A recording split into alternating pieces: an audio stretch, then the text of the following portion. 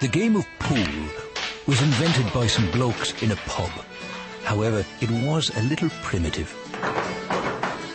Some additions were made, but it still wasn't much of a game. Then someone had the bright idea of adding a hole or two.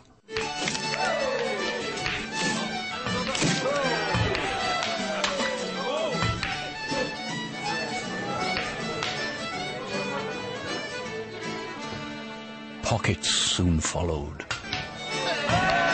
And the lads celebrated the only way they knew how, by potting the black.